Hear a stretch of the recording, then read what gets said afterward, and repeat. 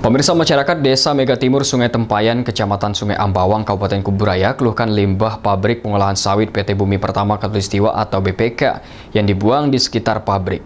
Limbah tersebut menghasilkan asap hitam serta air yang mencemari lingkungan. Jika membahayakan, DPRD akan menutup sementara perusahaan tersebut. Inilah video amatir yang diambil Komisi 3 DPRD Kabupaten Kuburaya bersama Badan Lingkungan Hidup beberapa waktu lalu. Ketika mendatangi pabrik pengolahan limbah sawit yang terletak di Desa Mega Timur, Kecamatan Sungai Ambawang.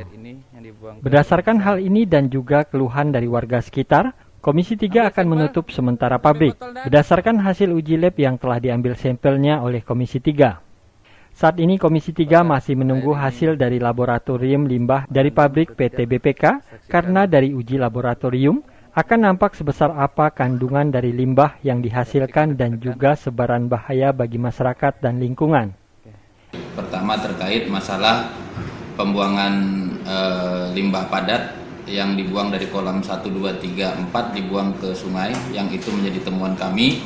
Poin yang kedua juga terkait masalah limbah udara. Pencemaran udara ini memang sangat sangat-sangat e, luar biasa karena pembuangan dari asap hitam itu menghasilkan debu hitam ke pemukiman rumah warga yang itu e, memang sangat-sangat berdampak tidak baik atau kurang baik terhadap lingkungan penduduk setempat.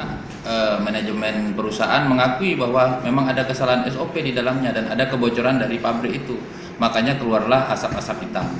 Nah, makanya kami nanti akan mengambil tindak tegas kalau memang perusahaan tidak mengindahkan dari atau tidak ada tindak lanjut dari evaluasi dari temuan kami, maka Komisi 3 akan rapat kerja ataupun kalau bisa kita bentuk pansus kepada Dinas uh, eh, LH untuk menyurati LH agar menyegel sementara waktu. Dari Kuburaya, Faisal Abu Bakar iNews melaporkan.